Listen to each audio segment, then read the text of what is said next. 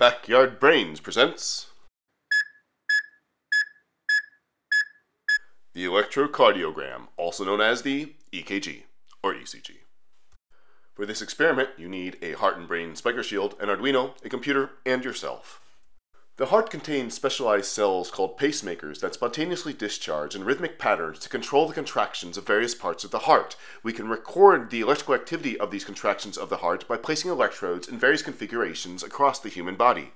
In the first configuration, Florencio will place one electrode on Pablo's inner right wrist, another electrode on his inner left wrist, and the ground electrode on the back of his left hand. This will allow us to measure the potential difference across his chest. With our orange interface cable, we will connect each red alligator clip to each inner wrist and the black alligator clip to the back of the hand. We then plug the orange cable into the orange port on the heart and brain spiker shield and the USB cable on the other side. The other end of the USB cable goes into the computer and we are ready to begin.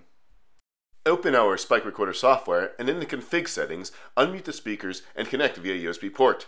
Within 1 to 2 seconds, you will see the iconic impulses of heart contraction. The plus and minus signs on the left side of the screen can increase or decrease the size of the visualization, and you can also click on the threshold button to enter threshold mode, which centers the impulse to allow you to examine it more closely.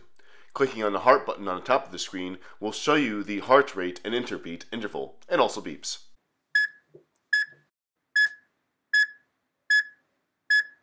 You can also take a signal average, which is very useful in noisy environments when you want to see the P wave, QRS, and T wave components of the electrocardiogram signal.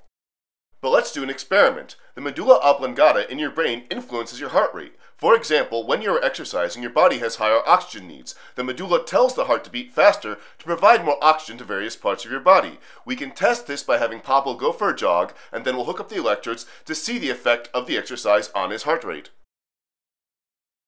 As expected, his heart rate has increased from a baseline of 70 to 80 beats per minute to 120 to 130 beats per minute.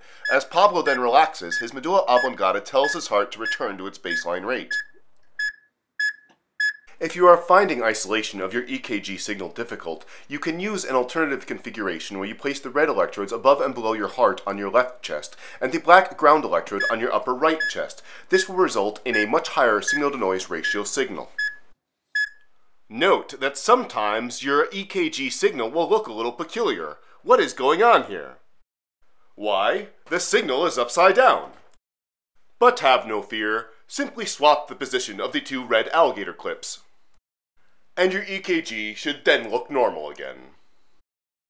We thank our production team, and this is only just the beginning. Perhaps we can build some sort of interface where we connect the heart rate to an instrument. Stay tuned. Backyard Brains, neuroscience for everyone.